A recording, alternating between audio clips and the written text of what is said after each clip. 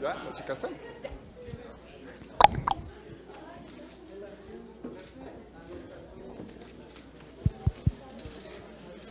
¿Ustedes nos avisan, jóvenes, de las cámaras cuando estén listos? Ey, silencio, jóvenes, ustedes aquí abajo. Dejen de estar organizando, produciendo. 2, 4, 6, 8, 10, 12, 14. Es una prueba de audio. ¿Todo bien? ¿Estamos en el circuito?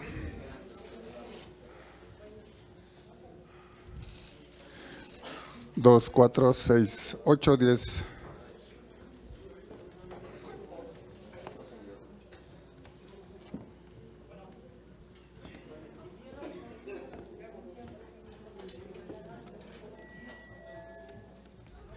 Bueno, bueno, dos, cuatro, seis. La senadora Nestora Salgado platica con ustedes.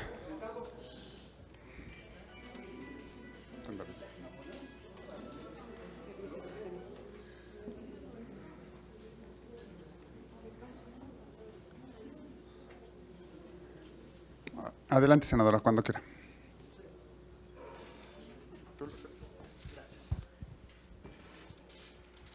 Bueno, Muy buenas tardes. Muchísimas gracias por acompañarnos.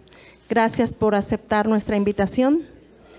Es para nosotros un placer verlos aquí, acompañándonos y honrada, ah, ¿qué tal? Eh, honrada de estar aquí con los compañeros de Tlanisco. Este, quiero este día que para mí es muy importante, uno de los días que pudiera decir que, como las pocas experiencias de mi vida, eh, emocionada. El haber llegado al Senado, para mí es un triunfo, no de Nestora. El triunfo es para el pueblo, porque nuestro pueblo ha llegado al Senado, la voz del pueblo ha llegado al Senado.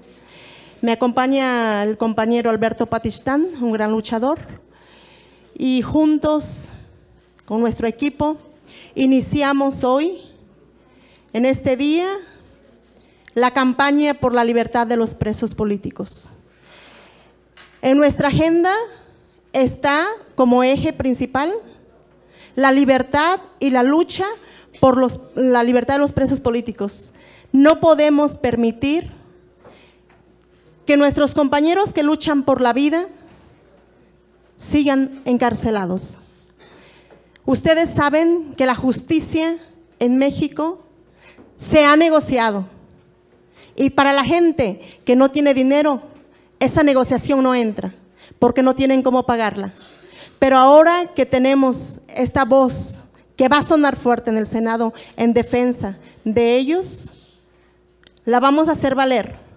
Iniciamos hoy con un posicionamiento fuerte y firme y pidiéndole a nuestro pueblo mexicano que nos acompañe en esta larga lucha porque estamos enfrentándonos con muchos, muchas problemáticas que ha vivido México y que nosotros quisiéramos de alguna manera que haya justicia para toda esta gente, que se le han inventado, que se le han fabricado. Yo misma fui o sigo siendo, hasta en este gobierno actual, perseguida política, difamada, acusada, con delitos fabricados. Por esa razón, tengo que ser fuerte y con una voz muy firme decir que queremos la libertad de estos hermanos que luchan por la vida. Luchar por el agua, luchar por los bosques, no es un delito. Esta lucha de- es para todos, para el bien de todos.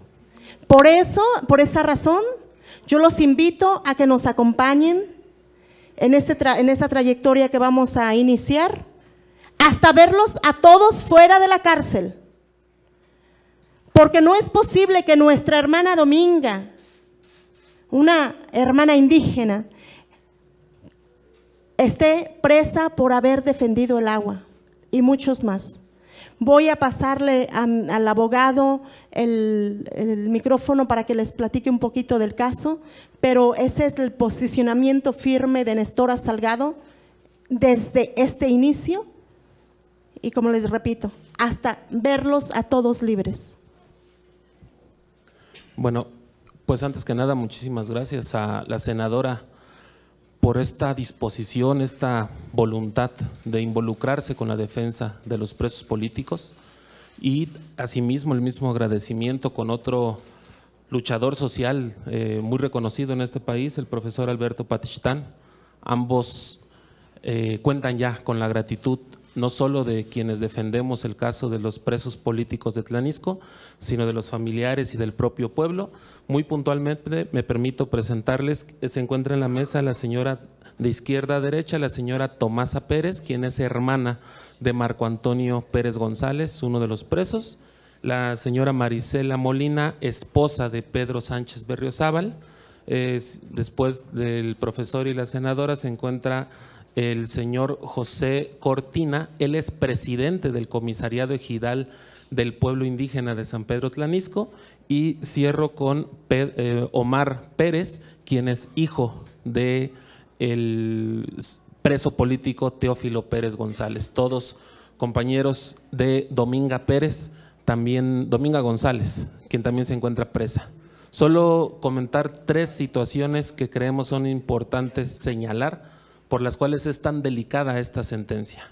Uno, la señora Dominga González Martínez fue presa y sentenciada a 50 años de prisión.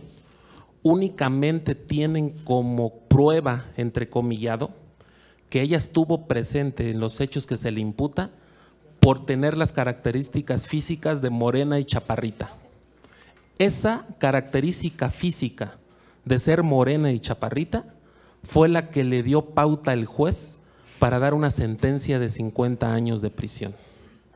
Segundo, la sentencia de 50 años de prisión es la máxima que el juez pudo darles y se las dio, y así está en la sentencia redactado, uno, porque dijeron ser indígenas.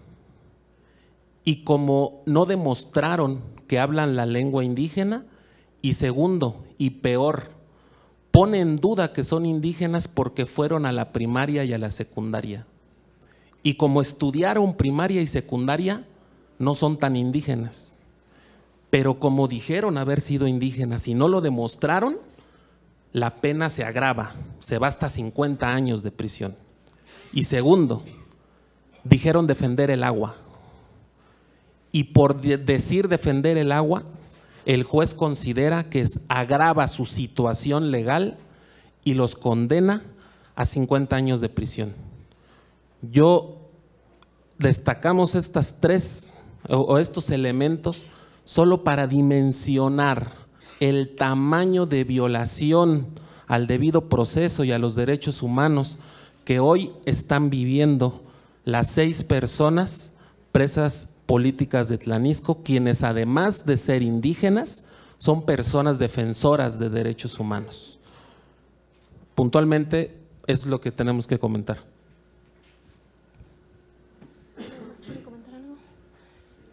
Pues bueno, muchísimas gracias por acompañarnos. Es solamente fijar esta postura ah, como senadora ahora y para decirles que estaremos acompañando el el proceso de los pueblos originarios para que sus derechos sean respetados. En Guerrero tenemos presos políticos también, como está el compañero Marco Antonio Suástegui, que está luchando también por el agua o que ha luchado por el agua. Y bueno, no pararemos hasta tenerlos libres. ¿Quieres decir? Eh, pues bien, buenas tardes a todos. Eh, es un honor a mí pues invitarnos los familiares, a usted, abogado, aunque quisiera descansar en mi pueblo natal, el bosque, aún no puedo descansar porque las injusticias pues siguen prevaleciendo. Hoy entonces, como ya decía Nestora, apenas comenzamos con esas tareas de luchar con los presos, cómo quisieran las familias estar en paz, cómo quisieran la sociedad vivir en paz Desgraciadamente no hay paz si no hay justicia. Hoy, la gente, los presos, no pueden estar en paz mientras ellos y ellas son violados sus derechos. no podemos decir que no hay motivos para luchar o para hacer una campaña en la libertad de los presos. A mí me consta, como ya decía el abogado, nuestra compañera Tomasa fue sentenciada a 50 años. Yo soy testigo de las injusticias. Yo fui todavía, yo fui todavía como quien dice que yo le rebasé a, otra, a otros 10 años a la compañera Nestora porque yo sí me la llevé con los 60 años de prisión. Sin embargo, delitos que jamás la cometí. Y yo sé que hay muchas personas que siguen encarcelados y encarceladas como yo, como lo fui yo, como siguen hoy otros compañeros. Personas que no han cometido nada, solamente porque han sido indígenas o solamente porque ellos no tienen recursos para pagar un abogado, ellos están presos.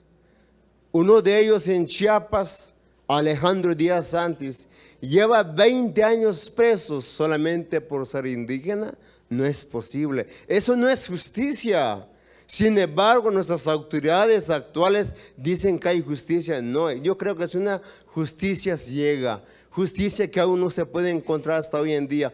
Pero hoy, con la compañera que es nuestra aliada, así como habrán otros senadores que están en nuestro favor de encontrar esta justicia verdadera, eso es donde nos va a permitir entonces lograr la libertad de muchos presos, de Tlanisco, de Chiapas, de Oaxaca y en todo el país. Eso va a ser el camino y eso va a ser el trabajo nuestro. Gracias y eso es las palabras que yo les traigo ahorita con los familiares. Seguiremos caminando con ustedes, compañeras, hasta donde la vida nos permite estar de pie. Gracias. Y por favor, denle seguimiento en nuestra lucha que vamos a iniciar. Ustedes nos pueden apoyar. Gracias. Senadora, tenemos algunas preguntas registradas. La primera pregunta es de Karina Aguilar, de 24 horas. Gracias. Hola, senadora. Buenas tardes a todos. Preguntarle si ya tienen, eh, usted ya hizo algún estudio o ya tienen las cifras de cuántas presos políticos hay en el país y también preguntarle qué tipo de iniciativas va usted a interponer o va a estar promoviendo en las próximas sesiones en torno a este tema. Gracias. Ah, bueno, discúlpenme, esto no era preguntas y respuestas, pero bueno, eh, le voy a contestar su pregunta. Estamos ya haciendo el mapeo de los presos, son muchísimos, eh, pero necesitamos que las familias también se acerquen a nosotros. Yo solamente les estoy brindando el apoyo, estoy abriendo una puerta desde que desde el Senado tomaremos estos temas, haremos mesas de trabajo y pues sacaremos puntos de acuerdo para estos temas. Muchísimas gracias. Bueno, tengo, tengo, el primer punto ha sido esto, el tema de los presos. lo vamos a presentar, vamos a, trabajar en ello. Para mí es lo más importante que tengo, la libertad de los presos políticos. Y bueno. Estamos trabajando en ello. En su momento lo estamos a saber. Gracias.